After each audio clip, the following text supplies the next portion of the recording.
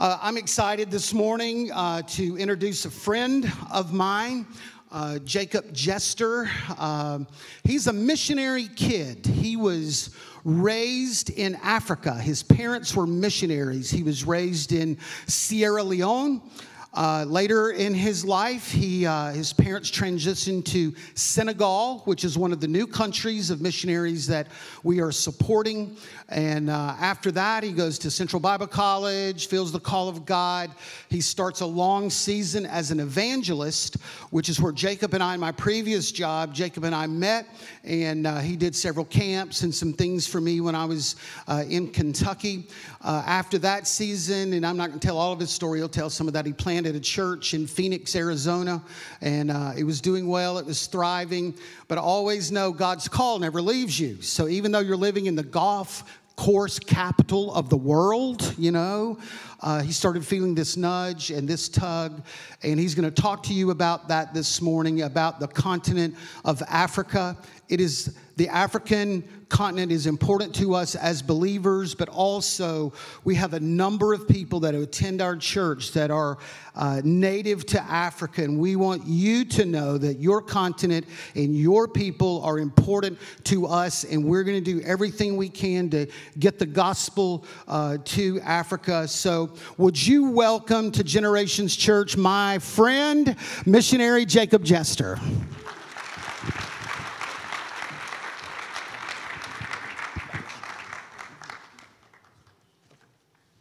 How are you?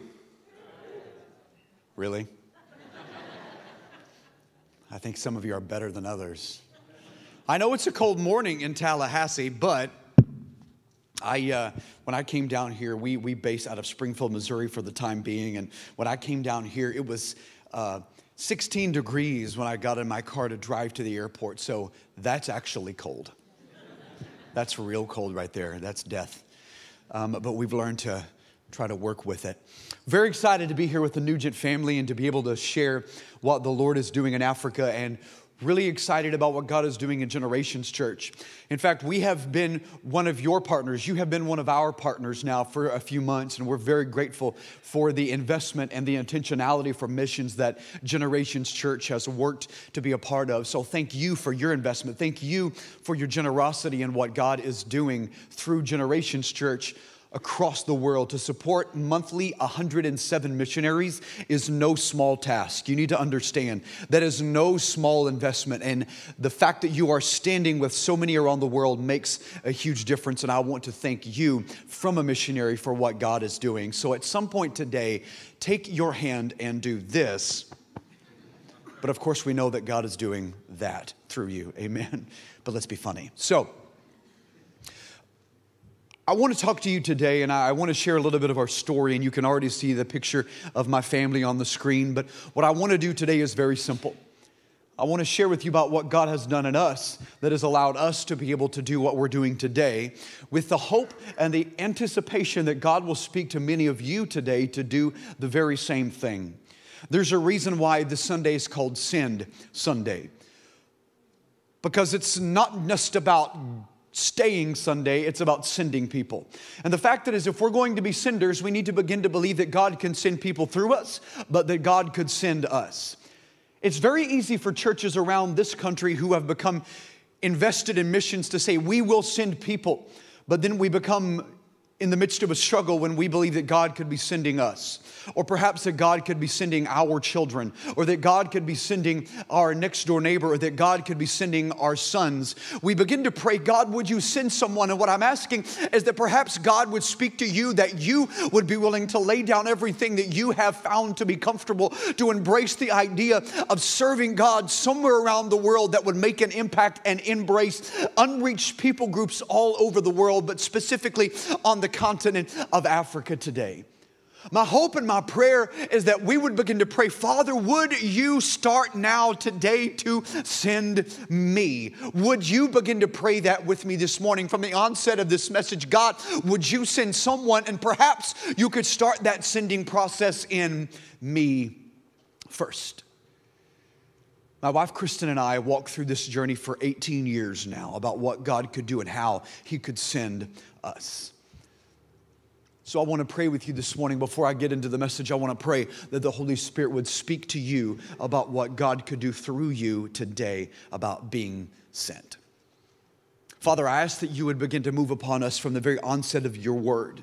Father, I pray that grace and mercy would flow down from us even in this moment, God, that you would speak a life, that you would speak encouragement, that you would speak your anointing and your promises. Father, we give you the praise, we give you the glory, and we give you all the honor. They belong to you now in this moment. In Jesus' name we pray. And everyone said, Amen. If you have your Bible, would you turn with me to the book of Ezekiel, chapter number 37, verse number one? The book of Ezekiel, chapter 37, verse number one. It should also be on the screen. It says, The hand of the Lord was upon me. And he brought me out in the spirit of the Lord and set me down in the middle of a valley. It was full of bones. And he led me around among them, and behold, there were very many on the surface of the valley, and behold, they were very dry. And he said to me, Son of man, can these bones live? And I answered, O Lord God, you know. And then he said to me, Prophesy over these bones and say to them, O dry bones, hear the word of the Lord. Thus says the Lord God to these bones Behold, I will cause breath to enter you, and you shall live. And I will lay sinews upon you, and will cause flesh to come upon you, and cover you with skin, and put breath in you, and you shall live, and you shall know that I am the Lord. I want you for just a moment to use your imagination and I want you to picture the prophet Ezekiel being sent by the Spirit of the Lord and being put down in the middle of a valley that was full of dry bones. Bones that had somewhere along the way come and have met somewhere in the middle of this valley, but no longer have life, no longer have breath in them. And I want you to, for just a moment, to imagine this, this scenario and the setting of what it must have been like for the prophet Ezekiel to go standing in the middle of a valley of dry bones and then beginning to ask the Lord, Can these bones live? Can these bones live? In fact, I want you to take note of what the scripture says that God asks the prophet Ezekiel. He says, Can these bones live? And then I want you to notice for just a moment what the prophet Ezekiel says back to the Lord. He says, Only you know. I want you to understand that right now, in this moment, in the hearts of many of you in this place, I believe that the Holy Spirit wants to begin to ask you, can these bones live? It's more than just the city of Tallahassee and the state of Florida and the country that we live in. But see, you and I have been sent by the power of the Holy Spirit to stand in the middle of a valley of dry bones. And right now, in this moment, God is asking generations, church, can these bones live? Can your family live? Can America live? Can the continent of Africa and the world experience a move of God that changes and shakes us from our core.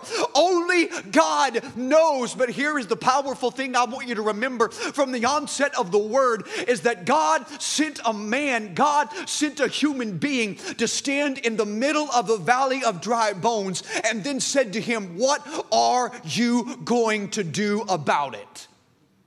What are you going to do about a world that needs to know Jesus? What are you going to do about the continent of Africa with 867 unreached people groups? What are you going to do about the most urbanizing, the fastest growing, the youngest continent on the planet? What is your approach to an unreached world that needs a very real God?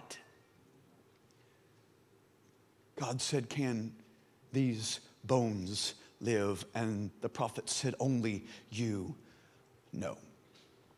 When I was seven years old, my, my dad had a dream.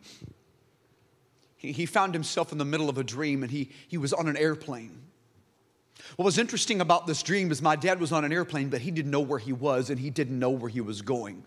So, in his dream, he was trying to orient himself to the sitting and the surrounding and the scenario in which he was finding himself. And he, he, he landed the plane. The plane landed on an airstrip. And my dad, in his dream, got out of the airplane. He saw at the bottom of the stairs. And as he walked to the bottom of the stairs and put his foot down on the asphalt runway, he, he started to look around to see where he was. And he realized that he was standing on a peninsula. He looked around, realizing that he was standing on a peninsula trying to get his bearings, and he saw that on the other side, to his left, there was a bay of water.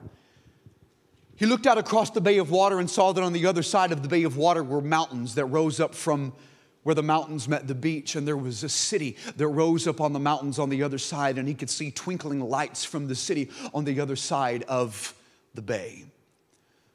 Very next morning, he woke up and he ran to my mother and he said, I believe that the Lord is calling us into missions, and I think the Lord has shown me where we're going to go.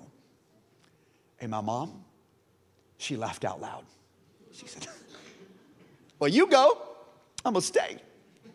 And so my dad began to pray for my mother. He began to pray. He would say, Lord, I pray for my wife. I pray, God, that you would speak to her. God, I pray that you would speak to her about the situation. I know that you're calling us into missions. He would pray on his knees every day for my mother that God would speak to her. And my mom, she prayed too.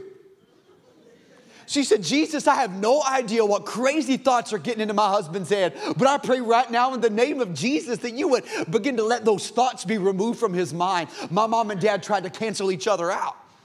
They prayed, they tried to cancel each other's prayers, thinking that maybe one of them would be heard more by God, that perhaps the Lord would hear to them in a more powerful way. See, I have you to, to understand for just a moment as I get into the message that I'm the father of three amazing children. And I know from a parent's perspective that we don't always know what to say to our kids, do we? We don't always have the best answers for our kids' questions, do we? Especially when my kids try to defy my authority because I feel like I'm a pretty authoritarian person. Not really. I don't even have an intimidating look when I try to intimidate my children. I try to bug my eyes, my eyes don't even bug very good. And I tell my kids, I need you to go take out the trash. And they say, Well, why?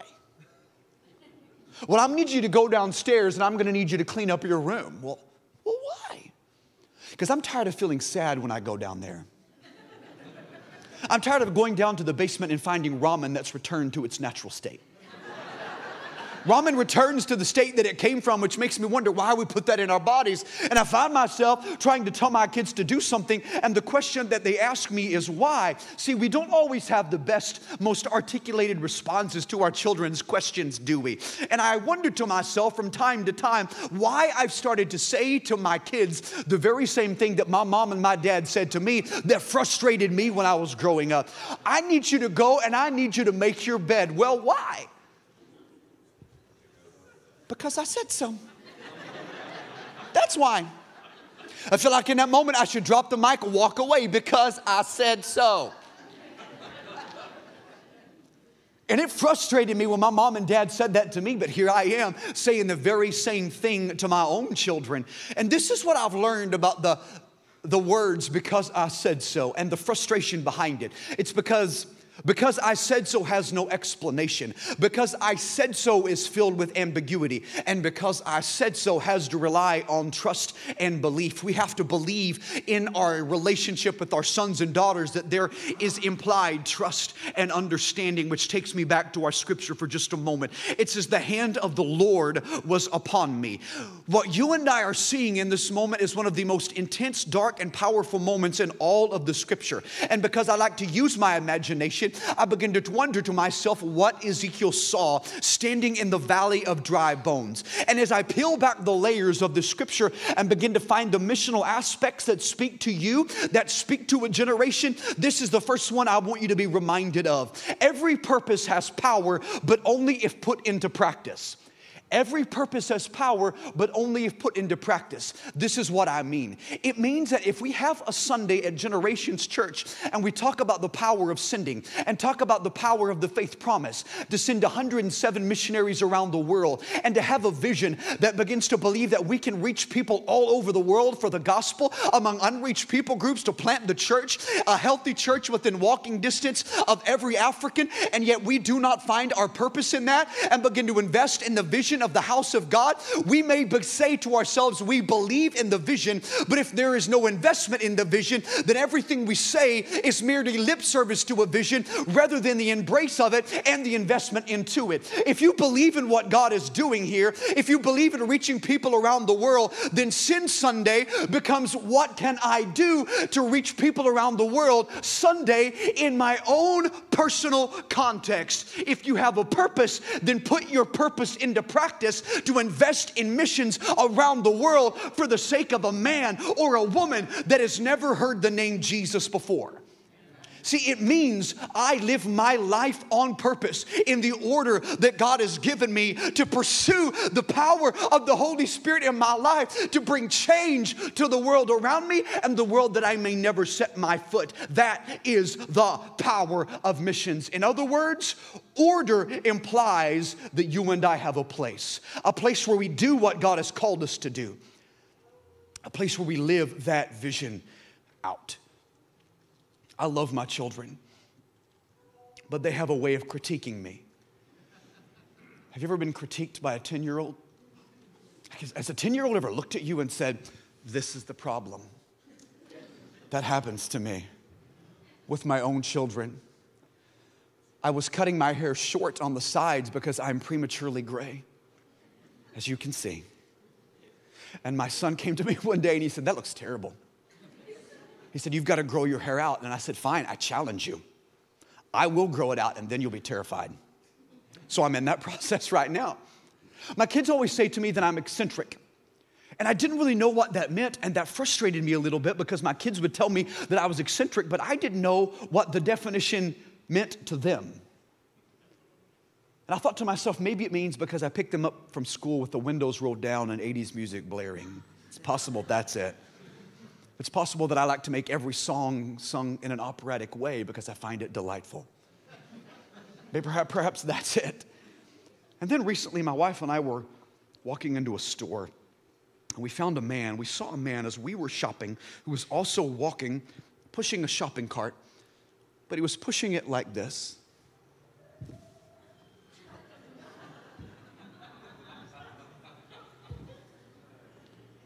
And my wife said, Do you see that man? Yes, I do. She said, That's eccentric. She said, That's you. That's something you would do. And for about 11 seconds, I was offended. Until I thought to myself, That's something I would do. now I understand why my kids tell me that I'm eccentric.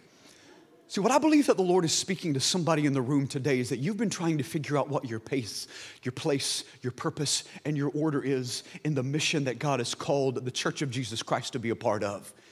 You've let other people try to tell you who you are. You've let other people try to define the expectations that God has placed upon you to tell you this is what you should begin to do. But if you do not know the order that God has given you to be a part of the global mission of God, then you will struggle every time you walk into a Sunday like this because you will try to understand what the church's expectations are to you, what the people's expectations are for you, rather than what God's expectations are to you. See, we are found in our purpose and our placement. We are found in our purpose, but see, God uses our purpose to place us into situations where we can begin to make the biggest impact that we were born to make. I am not at a disillusionment. I know that many of you will never set foot on the continent of Africa, but why wouldn't you want to make a difference in global mission? Because we have been called by the Church of Jesus Christ to make a difference not only only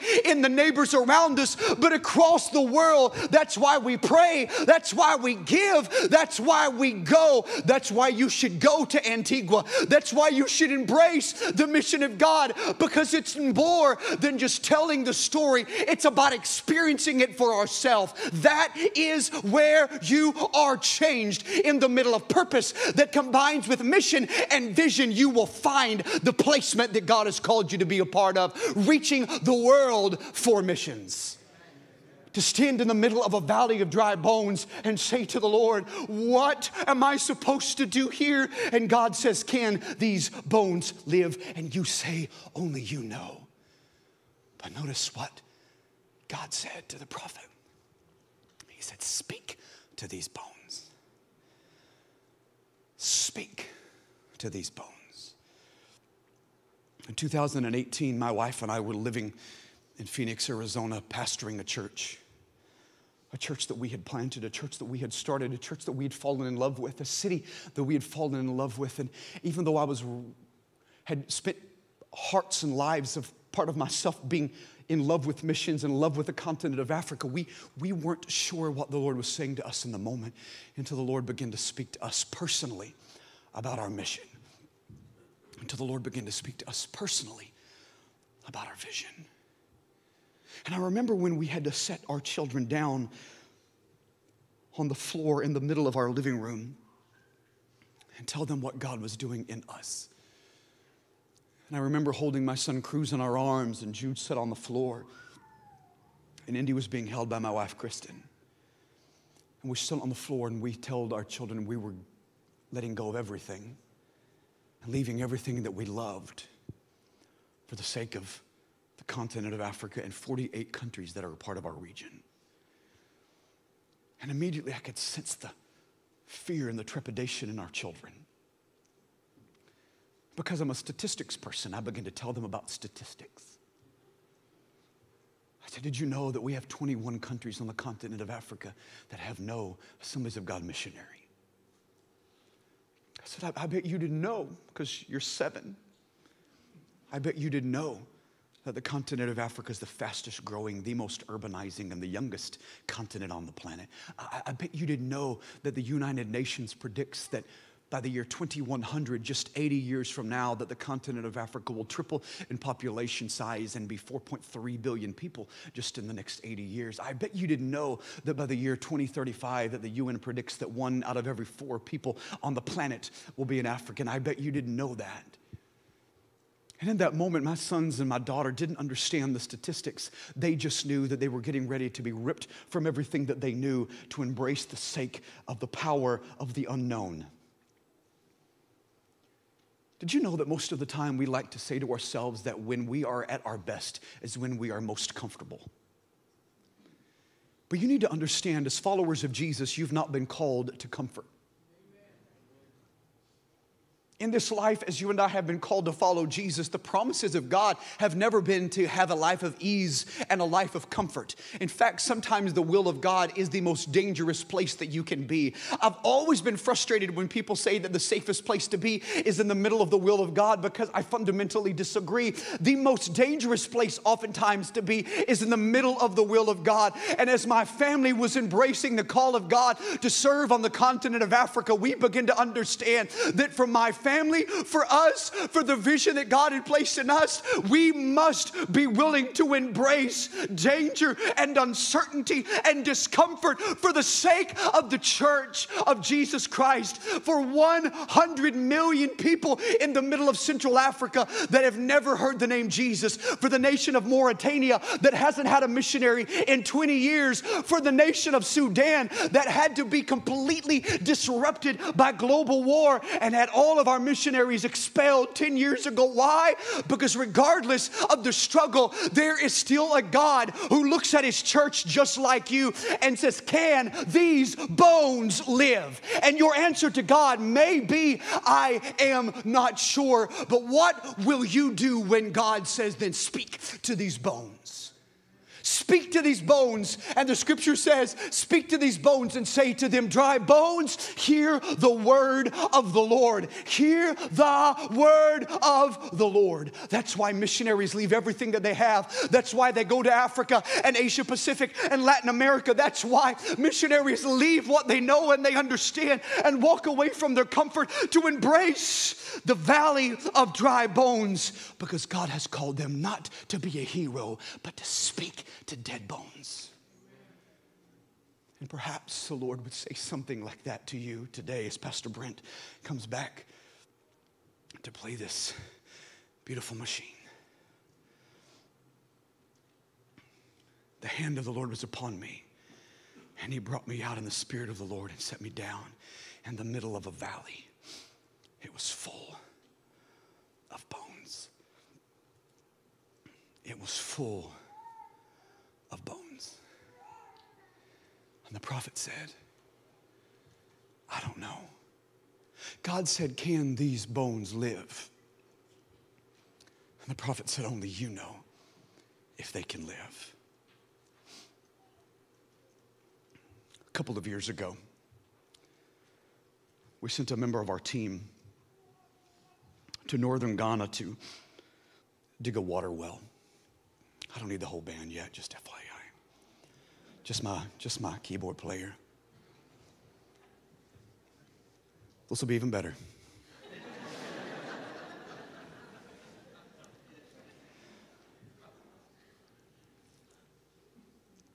we sent a member of our team to northern Ghana to dig a, a water well. And so, what we knew that we were doing, we went to dig the water wells because the continent of Africa is the most water scarce continent on the planet. We like to say that water is life, but in Africa, we also see that water is death. There are pockets of places in Africa where young ladies, because it's mostly young ladies who have to walk through this experience, will, will go down to the water source. They'll go down to the river or they will go down to the mud trampled, animal infested pool. And they will go to draw water, and waiting just below the surface of the water are crocodiles.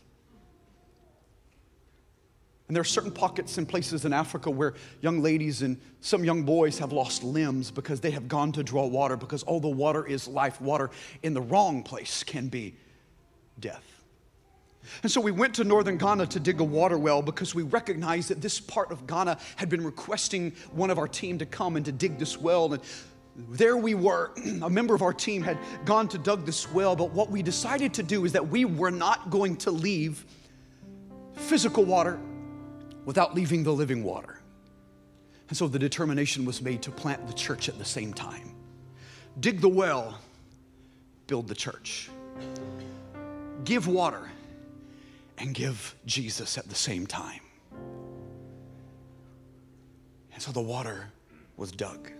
They began to dig into the northern Ghana red clay. And as the day uh, came where the water was coming and the well had been built, people from all over the region came to be a part of this experience. They finally had a place where they could get clean water and they didn't have to go as far. They just came to that one place to get the water. And the church was established at the same time, and a man by the name of Timothy became the pastor. Pastor Timothy was zealous for Jesus. And it wasn't but just a matter of weeks that the church was full of people. The church was full of people because people were coming to experience water, and there was living water given to them at the same time. And a move of God erupted in that part of the region. And there was a moment that happened one day that changed the trajectory of the church. Pastor Timothy got a knock at his door. And he went and they opened the door, and there standing in front of him was a man who'd converted recently from Islam. He told Pastor Timothy, he said, I'm here because I, I want to be baptized. And Pastor Timothy was overjoyed and overwhelmed because he'd been waiting for this moment. He told him, he said, if you'll come back in two weeks, we'll have a baptism service, and I can't wait to baptize you. Pastor Timothy said goodbye, started to close the door, and when he did, the man put his hand there, pushed the door back open, and said, No, I'd, I'd like to be baptized now. Pastor Timothy looked around and he saw that there was no pool, there was no water source, but there was a well.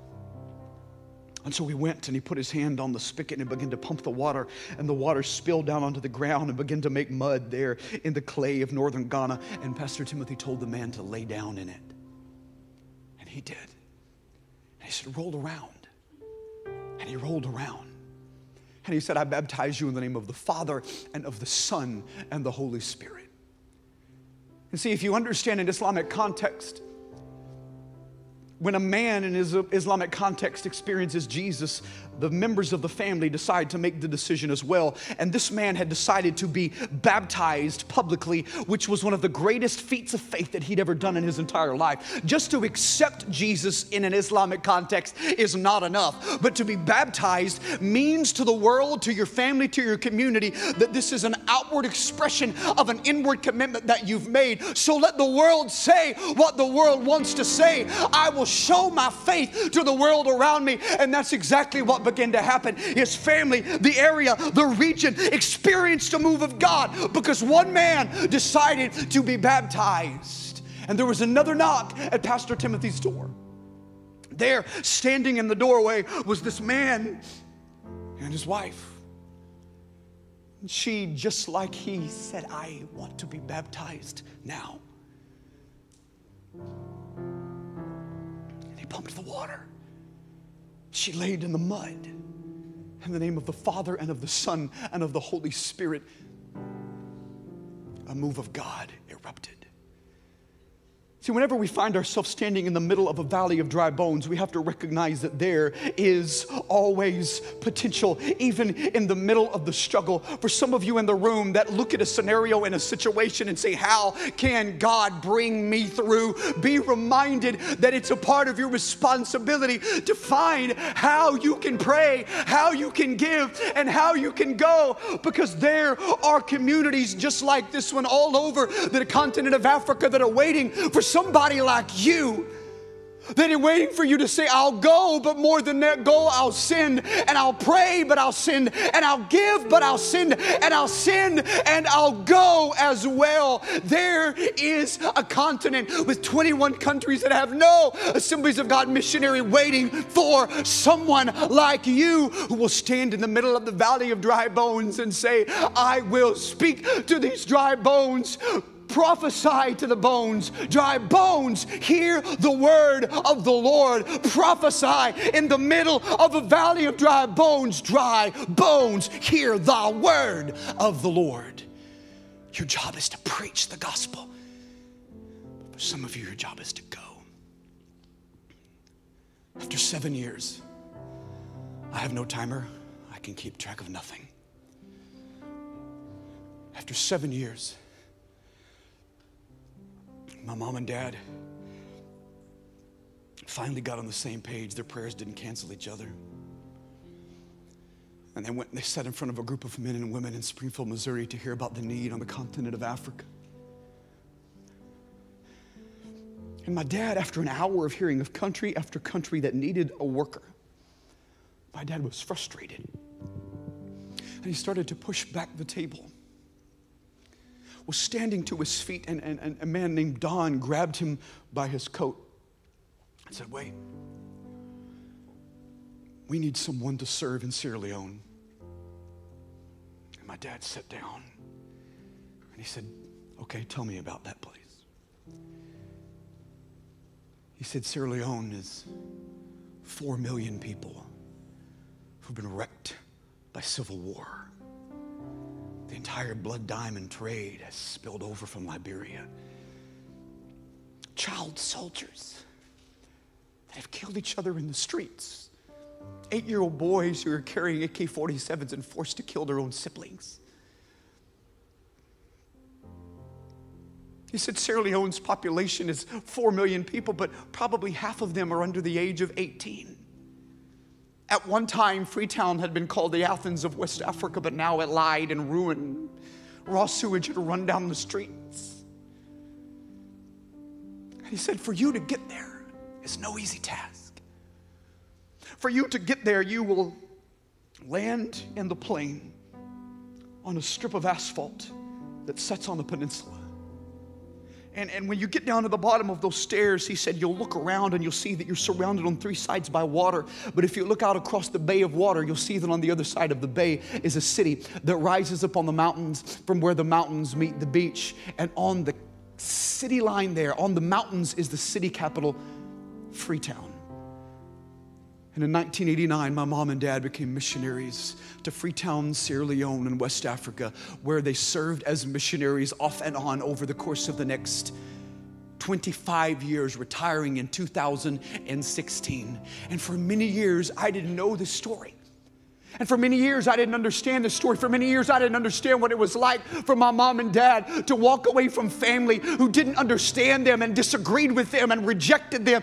I, I, didn't understand what it was like for their own mother and father to say, Why would you go to people you don't know when you could stay here with us? I didn't understand what it was like for them to make a decision like this until I embraced this decision for myself until I said to my children, We're going to go to Africa, until I said to my wife, This is what God is saying. And we were in agreement. Why? Because there is power in agreement when you have been on the same page.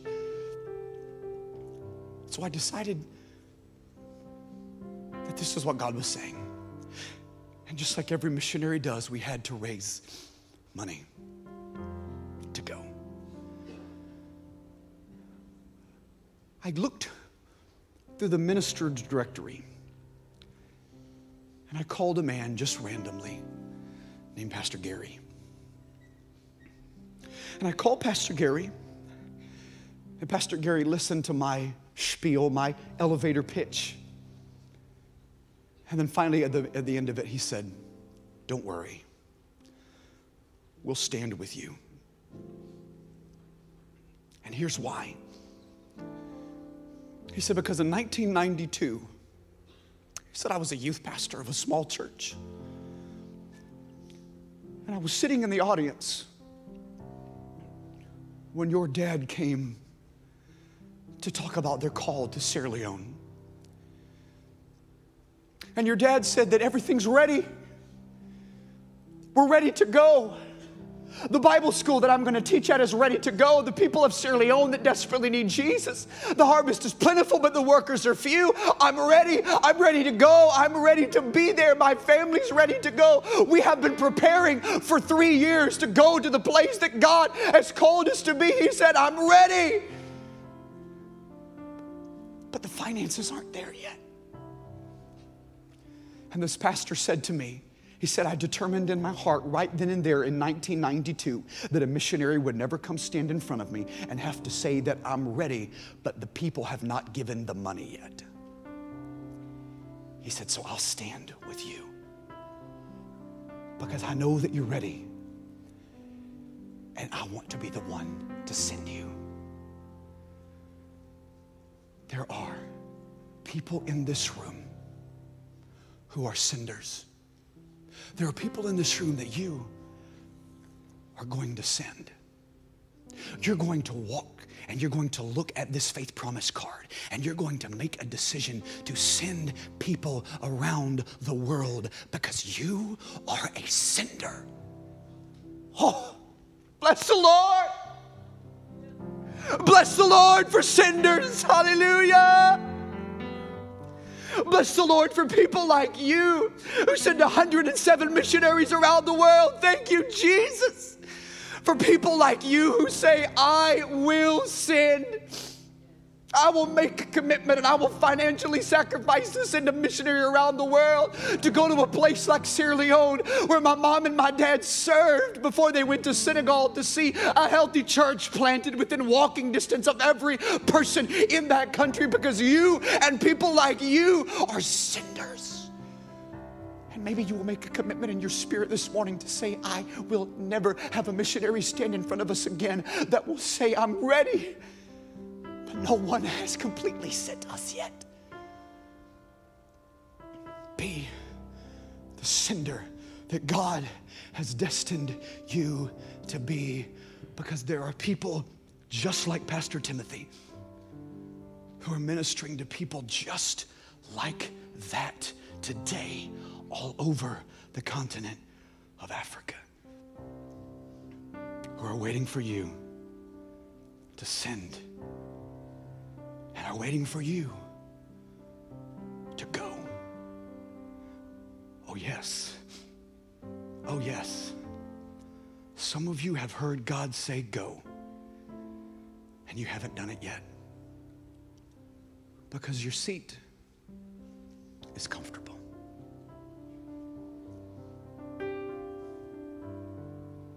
Can you go to Antigua? Yes. Can you come to Africa? You should be a prayer, a giver, and a goer. We're going to do something a little bit different, Pastor. We're, we, you know we're going to do this, but we're going to do something a little bit different. Samuel is going to come and we did talk. We talked. Samuel's from Nigeria. Nigerians are everywhere. There's always a Nigerian. There's always a Nigerian.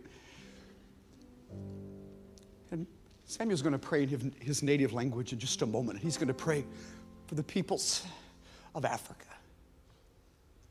I specifically want you to pray for something right now that I shared with Pastor Brian this morning.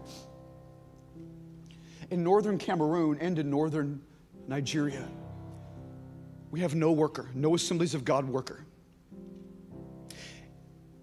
And that area is the largest grouping of unreached peoples in all of Africa. There are 100 million people in that area. who have no access to the gospel and have no one working among them from our fellowship. So, Samuel, I'm going to ask you to pray that God would send workers there. And you know what? More than that, I'm going to pray that God calls some of you to respond to that need right now in Jesus' name. In the name of Jesus, I pray that now in the name of Jesus, that somebody in this house would say, Yes, I will go. Yes, I will go. Yes, I will go. Yes, I will go. In the name of Jesus. Samuel, would you pray, sir? I'll be praying in my language, in Yoruba language, and the prayer is just to pray for the continent of Africa and to pray that the Lord will send um, missionaries, that the Lord will empower the pastors and the preachers of the gospel in all the regions. Olúwa dúpẹ́ àfi ọpẹ́ fún orúkọ yín. A dúpẹ́ fún orílẹ̀-èdè Áfíríkà. A dúpẹ́ torí pé ẹ fẹ́ gbé orúkọ yín ga ní gbogbo orílẹ̀-èdè. Olúwa gbàdúrà fún gbogbo orílẹ̀-èdè ní Áfíríkà. A gbàdúrà fún àwọn olùṣọ́ àgùntàn. A gbàdúrà fún àwọn ajíhìnrere. A gbàdúrà fún àwọn tó ń ṣiṣẹ́ ìyìnrere ní orílẹ̀-èdè Áfíríkà. A pé agbára yín ó máa wà pẹ̀lú wọn.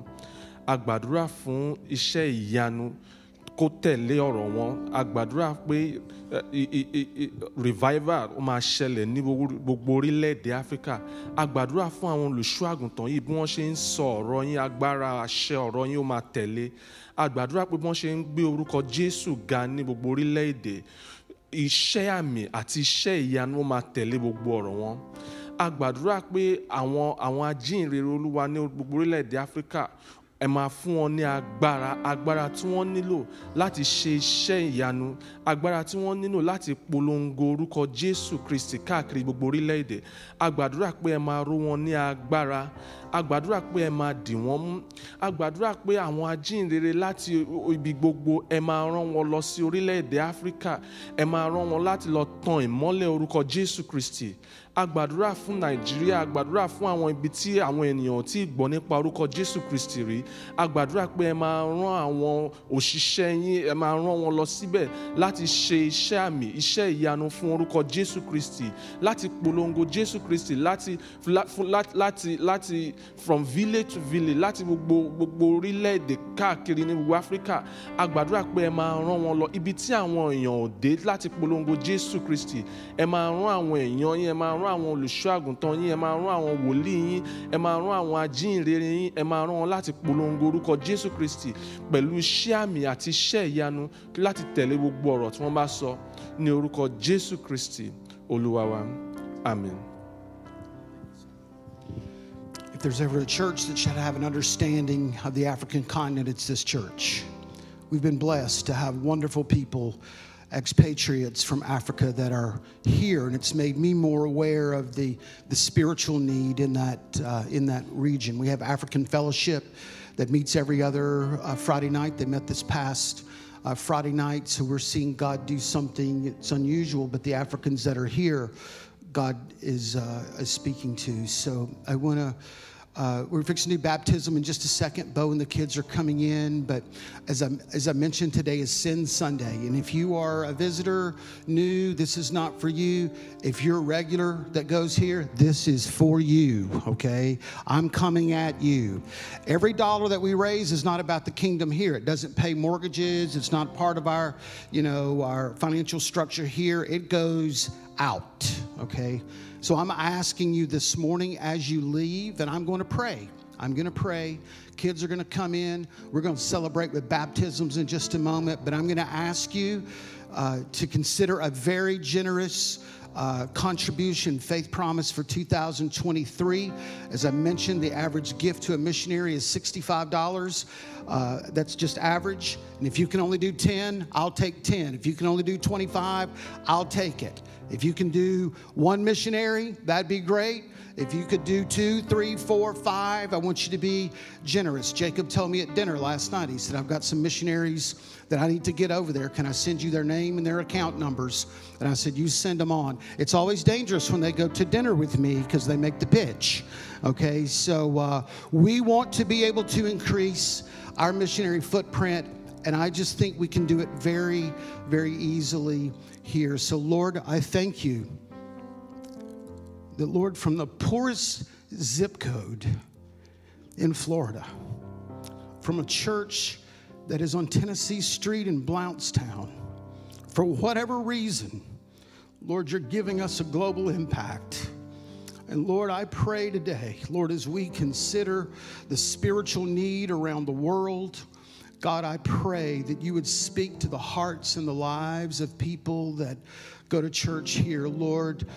And, and maybe you're calling some to make a physical move, but Lord, for all you're calling us to send and to do something unbelievable, Lord, for missions for 2023. So, God, I pray that you would speak to every heart. I pray that the Spirit of the Lord would lay, lay this burden upon our hearts, Lord, that we collectively can do something unbelievable in, in 2023. And Lord, I just give you thanks. In Jesus' name, amen.